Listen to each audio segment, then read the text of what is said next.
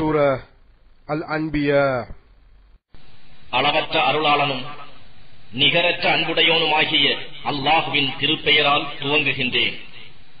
மனிதர்களுக்கு அவர்களுடைய கணக்கு விசாரணை நாள் நெருங்கிக் கொண்டே வருகிறது. ஆனால் அவர்களோ அதனை புறக்கணித்து பராமுகமாக இருக்கிறார்கள்.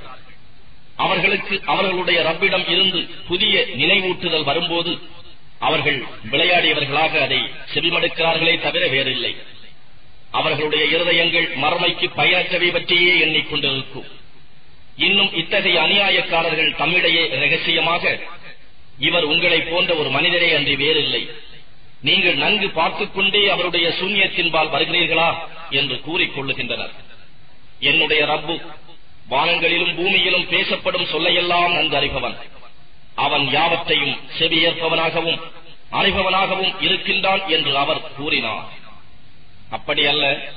இவை கலப்படமான கனவுகள். இல்லை.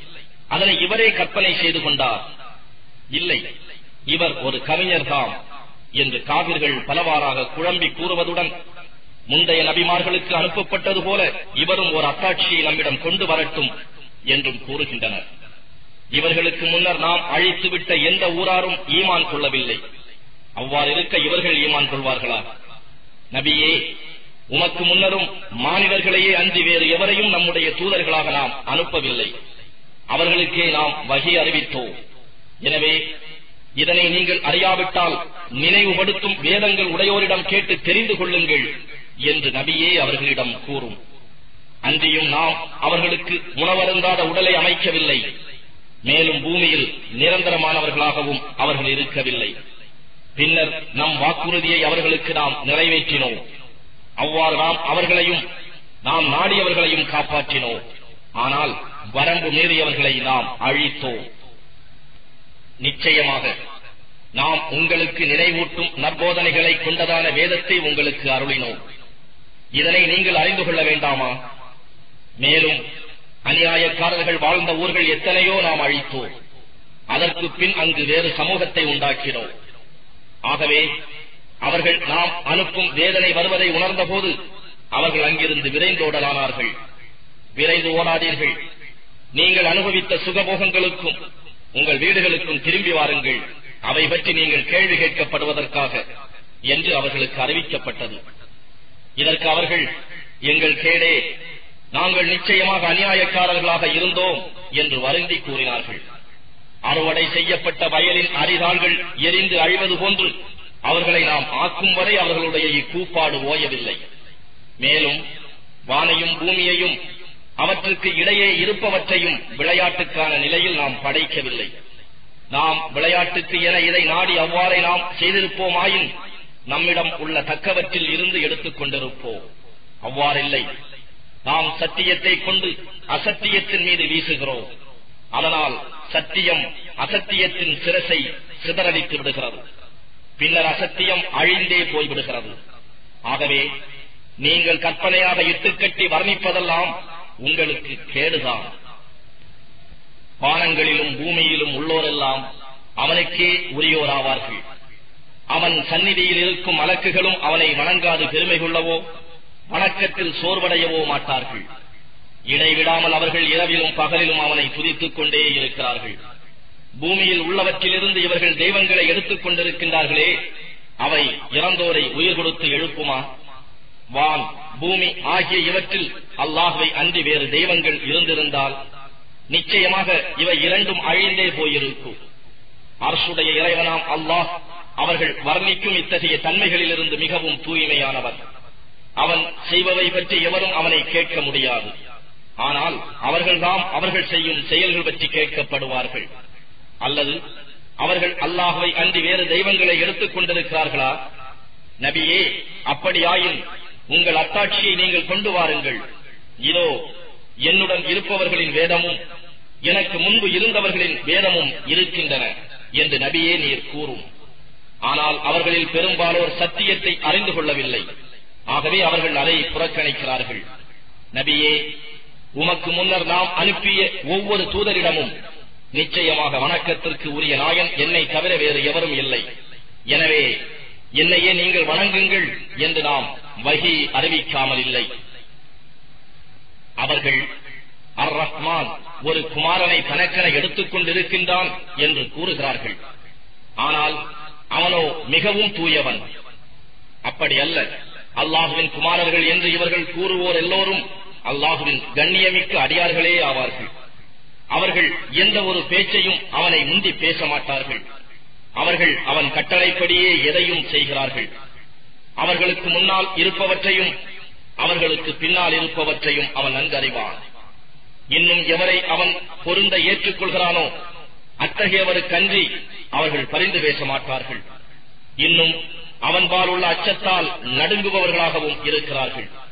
இன்னும் அவர்களில் எவரேனும் அவன் அன்றி நிச்சயமாக நானும் நாயன்தான் என்று கூறுவாரே ஆனால் அத்தகையவருக்கு நாம் நரகத்தையே கூலியாக கொடுப்போம். இவ்வாறே நாம் அநியாயக்காரர்களுக்கு கூலி கொடுப்போம்.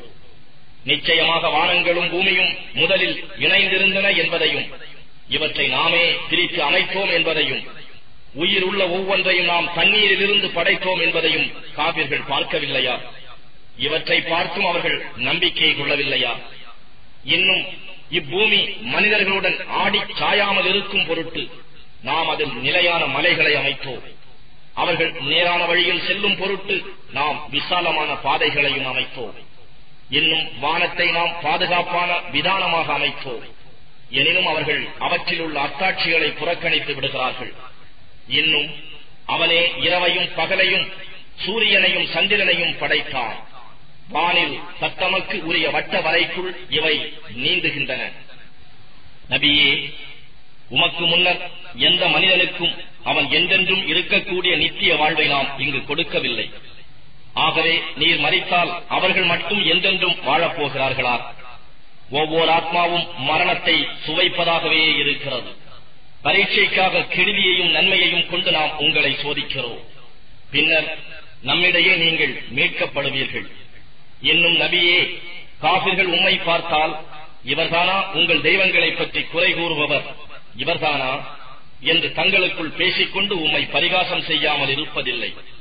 அன்றியும் அர் ரஹ்மான் என கூறப்பட்டதும் அவர்கள்தாம் அதை நிராகரிக்கின்றனர். மனிதன் அவசரக்காரனாகவே படைக்கப்பட்டிருக்கின்றான். விரைவில் வேதனைக்கான என் அத்தாட்சிகளை உங்களுக்கு காண்பிப்பேன். ஆகவே நீங்கள் அவசரப்படாதீர்கள். ஆனால் நீங்கள் உண்மையாளர்களாக இருப்பின் இந்த வேதனைக்கான வாக்குறுதி எப்பொழுது நிறைவேற்றப்படும் என்று அவர்கள் கேட்கிறார்கள். தம் முகங்களை விட்டும் தம் முதுகுகளை விட்டும் நரக நெருப்பை தடுத்துக் கொள்ள முடியாமலும் எவராலும் உதவி செய்யப்படாமலும் இருப்பார்களே அந்த நேரத்தை காவிர்கள் அறிந்து கொள்வார்களானால் இறுதி நேரம் பற்றி கேட்டுக் கொண்டிருக்க மாட்டார்கள். அவ்வாறல்ல அது அவர்களிடம் திடீரென வந்து அவர்களை தட்டழியச் செய்துவிடும். அதை தடுத்துக் கொள்ள அவர்களால் இயலாது. அவர்களுக்கு சிறிதும் அவகாசம் கொடுக்கப்பட மாட்டாது இன்னும் நபியே நிச்சயமாக உமக்கு முன்னர் வந்த தூதர்களும் இவ்வாறே பரிகர்சிக்கப்பட்டார்கள் ஆனால் அவர்கள் பரிகாசம் செய்து கொண்டிருந்த வேதனையானது அவர்களை சூழ்ந்து கொண்டது. உங்களை இரவிலும் பகலிலும் அர் ரஹ்மானுடைய வேதனையில் இருந்து பாதுகாக்கக்கூடியவர் எவர் என்று நபியே நீர் கேளும். ஆனால் அவர்கள் தங்கள் ரப்பை நினைப்பதையே புறக்கணிப்பவர்கள். அல்லது அவர்களை விட்டும் வேதனையை விலக்கக்கூடிய தெய்வம் நம்மை தவிர வேறு அவர்களுக்கு இருக்கிறதா? அவை தமக்கு தாமே உதவி செய்து கொள்ளவும் சக்தியற்றவையாயிற்றே. அவ்வாறு இருக்க அவை நம்மை விட்டும் வேறு எவராலும் காக்கப்படுபவர்களும் அல்ல. எனினும் இவர்களையும் இவர்களுடைய மூதாதையரையும் அவர்களுடைய ஆயுட்காலம் வளர்ந்தோங்கும் வரை சுகங்களை அனுபவிக்கச் செய்தோம் நாம் இவர்களிடம் உள்ள பூமியை அதன் அருகுகளில் இருந்தும் குறைத்துக் கொண்டு வருகிறோம் என்பதை இவர்கள் காணவில்லையா? இவர்களா மிகைக்கு வெற்றி கொள்பவர்கள்? நிச்சயமாக நான். உங்களுக்கு எச்சரிக்கை செய்வதெல்லாம் வகி மூலம் எனக்கு அறிவிக்கப்பட்டதை கொண்டேதான் என்று நபியே நீர் கூறும். எனினும் செவிடர்கள் அச்சமூட்டி எச்சரிக்கப்படும் போது அவர்கள் நேர்வழி பெறும் அந்த அழைப்பை செவிமடுக்க மாட்டார்கள். உம்முடைய ரப்பிடம் இருந்து உள்ள வேதனையிலிருந்து ஒரு மூச்சு அவர்களை தீண்டுமானாலும் எங்களுக்கு கேடுதான். திட்டமாக நாங்கள் அநியாயக்காரர்களாகவே இருந்தோம் என்று அவர்கள் நிச்சயம் கூறி கதறுவார்கள். இன்னும் தியாம நாளில் மிக துல்லியமான தராசுகளையே நாம் வைப்போம். எனவே எந்த ஓர் ஆத்மாவும் ஒரு சிறிதும் அநியாயம் செய்யப்பட மாட்டாது. மேலும் நன்மை தீமையில் ஒரு கடுகு அளவு இடை இருப்பினும் அதனை நாம் கணக்காக கொண்டு வருவோம். அவ்வாறு கணக்கெடுக்க நாமே போதும். இன்னும் நாம் மூசாவுக்கும் ஹாரோனுக்கும் நன்மை தீமைகளை பிரித்து அறிவிக்கும் வேதத்தையும் நிச்சயமாக நாம் கொடுத்தோம். அது பயபக்தி உடையவர்களுக்கு ஓர் ஒளியாகவும் நினைவூட்டுணர் போதமாகவும் இருந்தது. அவர்கள் தங்கள் ரப்பை அந்தரங்கத்திலும் அஞ்சுவார்கள். இன்னும் அந்த இறுதி வேலையை குறித்து பயந்து கொண்டும் இருப்பார்கள். இன்னும் இது குர்ஆன் நாம் அருள் செய்த பாக்கியமிக்க புனிதமான உபதேசமாகும். நீங்களா இதை புறக்கணிப்பாயிருப்பீர்கள். இன்னும் நாம் முன்னரே இப்ராஹீமுக்கு அவருக்கு தகுந்த நேர்மையான வழியை திடனாக கொடுத்தோம். அவருடைய தன்மையை நாம் நன்கு அறிந்திருந்தோம். அவர் தம் தந்தையிடமும் தம் சமூகத்தாரிடமும் நீங்கள் வழிபடும் இந்த உருவங்கள் என்ன? என்று கேட்டபோது அவர்கள் எங்கள் மூதாதையர்கள் இவற்றை வணங்கிக் கொண்டிருந்ததை நாங்கள் கண்டோம் என்று கூறினார்கள். அதற்கு அவர் நிச்சயமாக நீங்களும் உங்களுடைய மூதாதையரும் பகிரங்கமான வழிகேட்டில்தான் இருந்து வருகிறீர்கள் என்று கூறினார். அதற்கு அவர்கள் நீர் எங்களிடம் உண்மையை கொண்டு வந்திருக்கிறீரா? அல்லது விளையாடுபவர்களில் ஒருவராக இருக்கின்றீரா? என்று கேட்டார்கள். அப்படி அல்ல. உங்களுடைய ரப்பு வானங்களுக்கும் பூமிக்கும் ரப்பாவான். நிச்சயமாக அவனே அவற்றை படைத்தவன். இதற்கு சாட்சியம் கூறுபவர்களில் நானும் ஒருவனாக இருக்கின்றேன் என்று இப்ராஹிம் கூறினார். இன்னும் நீங்கள் திரும்பிச் சென்ற பின்னர் அல்லாஹுவின் மீது சத்தியமாக உங்கள் சிலைகளுக்கு ஒரு சரி செய்வேன் என்றும் கூறினார். அவ்வாறே அவர் அவற்றில் பெரியதை தவிர மற்ற எல்லாவற்றையும் துண்டு துண்டாக்கினார். அவர்கள் அதன்பால் திரும்புவதற்காக அதை விட்டுவிட்டார். எங்கள் தெய்வங்களுக்கு இவ்வாறு தீங்கு செய்தது யார்? நிச்சயமாக அவன் அக்கிரமக்காரர்களில் ஒருவனாக இருப்பான் என்று கூறினார்கள். அதற்கு அவர்களில் சிலர் இளைஞர் ஒருவர் இவற்றை பற்றி அவதூறாக குறிப்பிட்டு வந்ததை நாங்கள் கேள்விப்பட்டிருக்கிறோம். அவருக்கு இப்ராஹிம் என்று பெயர் சொல்லப்படுகிறது என்று கூறினார்கள். அப்படியானால் அவரை மக்கள் கண்முன்னே கொண்டு வாருங்கள். அவர்கள் சாட்சியம் கூறும் பொருட்டு என்று சொன்னார்கள். இப்ராஹிமே எங்கள் தெய்வங்களை இவ்வாறு செய்தவர் நீர்தாமோ என்று அவர் வந்ததும் கேட்டனர். அதற்கு அவர் அப்படியல்ல இவற்றில் பெரிய சிலை இதோ இருக்கிறதே இதுதான் செய்திருக்கும். எனவே இவை பேசக்கூடியவையாக இருப்பின் இவற்றையே நீங்கள் கேளுங்கள் என்று கூறினார். இதற்கு பதில் கூற தெரியாத அவர்கள் திரும்பி ஒருவருக்கு ஒருவர் நிச்சயமாக நீங்கள்தான் இவற்றை தெய்வங்களாக நம்பி அநியாயம் செய்துவிட்டீர்கள் என்று பேசிக் கொண்டார்கள். பிறகு அவர்கள் அவமானத்துடன் தங்கள் தலைகளை தொங்க போட்டுக் கொள்ளுமாறு செய்யப்பட்டார்கள். இவை பேச மாட்டா என்பதைத்தான் நீர் நிச்சயமாக அறிவீரே என்று கூறினர். அப்படியானால் நீங்கள் அல்லாஹுவை அன்றி உங்களுக்கு எப்பொருளாலும் நன்மை செய்ய முடியாதவையும் உங்களுக்கு தீமை எதுவும் செய்ய முடியாதவையுமான இவற்றையா வணங்குகிறீர்கள்? சீச்சி உங்களுக்கும் நீங்கள் வணங்கும் அல்லாஹ் அல்லாதவற்றுக்கும் கேடுதான். நீங்கள் இதனை அறிந்து கொள்ளவில்லையா என்று இப்ராஹிம் கூறினார். இதற்கு அவர்கள் நீங்கள் இவரை ஏதாவது செய்ய நாடினால் இவரை நெருப்பில் இட்டு எரியுங்கள் இவ்வாறு செய்து உங்கள் தெய்வங்களுக்கு உதவி செய்யுங்கள் என்று கூறினார்கள். இப்ராஹிம் தீக்கிடங்கள் எறியப்பட்டவுடன் நெருப்பே இப்ராஹிம் மீது நீ குளிர்ச்சியாகவும் சுகம் அளிக்கக்கூடியதாகவும் ஆகிவிடு என்று நாம் கூறினோம். மேலும் அவர்கள் அவருக்கு சரி செய்ய நாடினார்கள். ஆனால் நாம் அவர்களையே நஷ்டவாளிகளால் ஆக்கினோம்.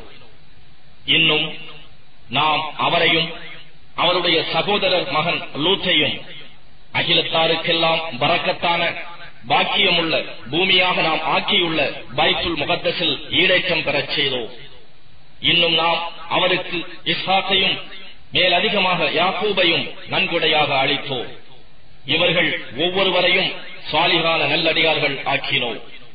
இன்னும் நம் கட்டளையை கொண்டு மக்களுக்கு நேர் வழிகாட்டும் இமாம்களாக தலைவர்களாக நாம் அவர்களை ஆக்கினோம்.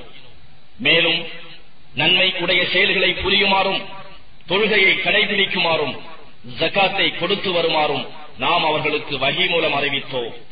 அவர்கள் நம்மையே வணங்குபவர்களாக இருந்தனர். இன்னும் லூத்தை நபியாக்கி நாம் அவருக்கு ஞானத்தையும் கல்வியையும் கொடுத்தோம். அருவறுப்பான செயல்களை செய்து கொண்டிருந்தவர்களின் ஊரை விட்டும் அவரை நாம் காப்பாற்றினோம். நிச்சயமாக அவர்கள் மிகவும் கெட்ட சமூகத்தினராகவும் பெரும் பாவிகளாகவும் இருந்தனர்.